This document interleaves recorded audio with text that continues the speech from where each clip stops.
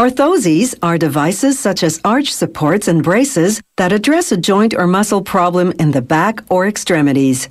An orthosis can provide artificial support, prevent or correct a deformity, or improve how a weak or painful area functions. You can buy an orthosis off the shelf or have one custom made.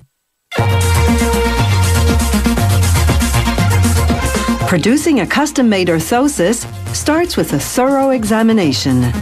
A certified professional called an orthotist analyzes the problem area. In the case of this patient, the feet. After a few manual manipulations to test the range of motion and pinpoint weakness or pain, the orthotist uses various instruments to measure the angles of the different parts of the feet. Then it's on to specialized devices that analyze foot position and movement during standing and walking, and how body weight is distributed onto the feet. In this scan, the red areas show that more weight is landing on the left foot than on the right. Next, a 3D impression in foam.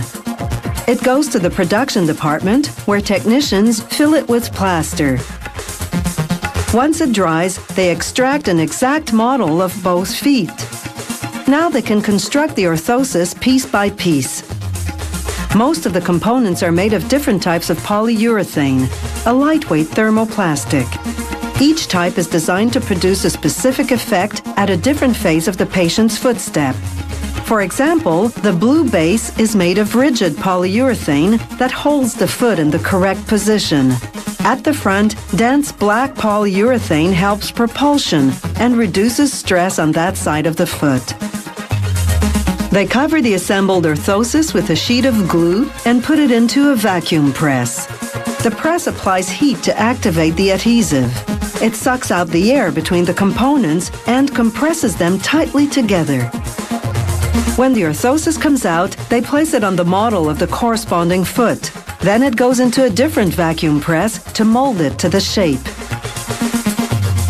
They add made-to-measure corrective parts in latex foam. Then using hypoallergenic glue, line the orthosis with a soft polyurethane. All that's left to do now is buff the orthosis. This smooths all the surfaces.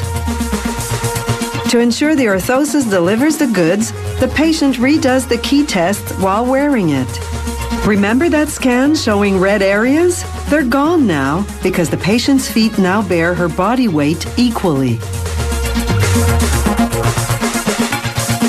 This patient has arrived with a doctor's prescription for a knee brace.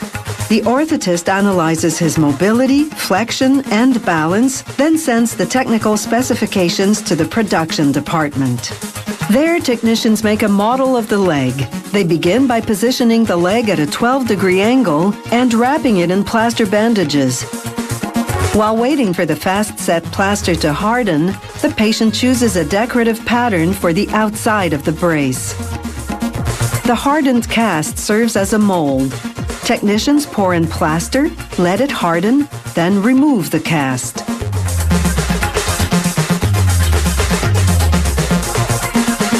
After smoothing the surface, they draw technical markings, then install the lightweight aluminum joints that'll enable the orthosis to bend. Now they run a sheet of plastic through an oven. This is high memory plastic, meaning that when you form it, it remembers the shape and maintains it. The design the patient chose comes printed on transfer paper.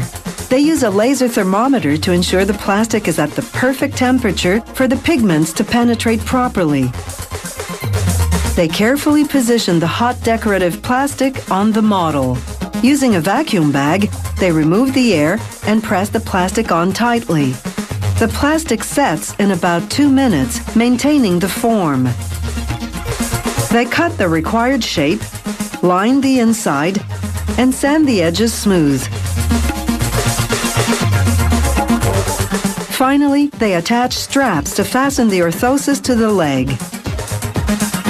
The orthotist checks the fit on the patient, then runs various tests to make sure the orthosis is doing exactly what it's designed to do.